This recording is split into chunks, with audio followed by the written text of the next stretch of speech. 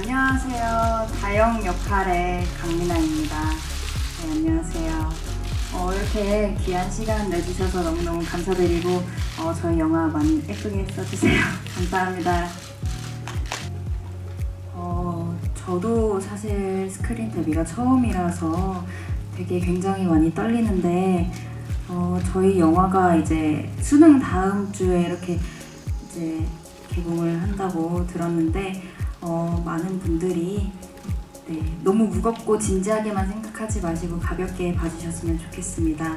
아 그리고 아까 영화 보는데 어, 되게 감기 걸리신 분들이 많으신 것 같더라고요. 네, 날씨도 추운데 이렇게 먼 걸음 해주셔서 너무 감사드리고 네, 건강 조심하세요.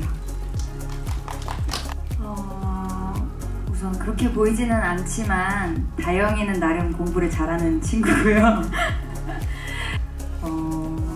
어, 그리고 사실 다영이라는 캐릭터 자체가 되게 좀 비밀도 많고 그거를 들키고 싶어 하지도 않고 긴장감과 좀 경계심이 심한 캐릭터이다 보니까 어, 좀 대사보다는 사실은 표정으로 많이 얘기를 해야 되는 캐릭터였어서 좀 눈동자의 시선이 어디에 맞춰져 있는지를 위주로 많이 해석을 했- 하려고 했던 것 같습니다. 네.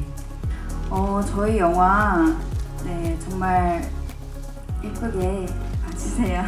저희 열심히 추운 겨울에 촬영 열심히 했고요. 그리고 한 분 한 분 너무 이제 좋은 배우분들이고 모두 다 응원하는 마음으로 좋은 기사 많이 써주셨으면 감사하겠습니다. 감사합니다. 어. 자, 포즈 한 번만 해주세 어, 네, 안녕하세요. 사체소년에서 이제 다영 역을 맡은 배우 강민아입니다.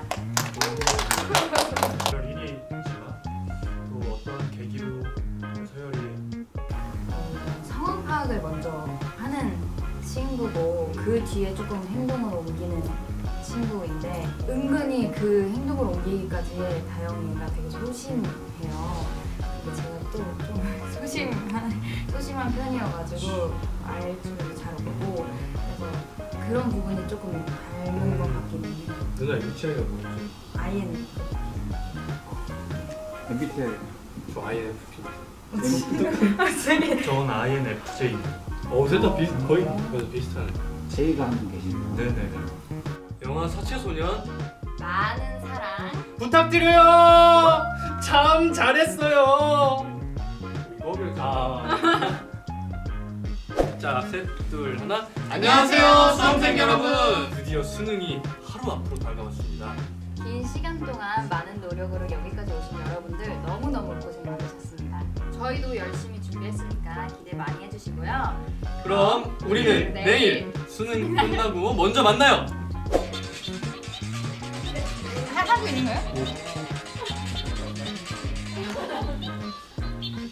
그리고 그 여러 개 띄워놨잖아. 제일 좋은 거만 쓰시면 될 것 같아요. 이.